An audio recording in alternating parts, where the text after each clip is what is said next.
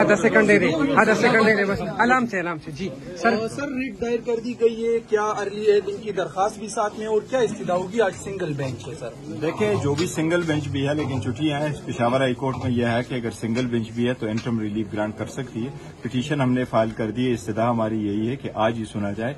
ये बड़ा ही important matter है। बहुत इम्पोर्टेंट पाकिस्तान के 25 करोड़ अवामों के फंडामेंटल राइट्स का हक है। ये सुप्रीम कोर्ट बारहा कह चुकी है कि ये एक पोलिटिकल पार्टी का राइट है। कि अपने सिंबल से इलेक्शन लड़े। अगर वो सिंबल से इलेक्शन नहीं लड़ेगी तो देखो दो सौ सताईस रिज़र्व सीट है, वो किसके पास जाएगी?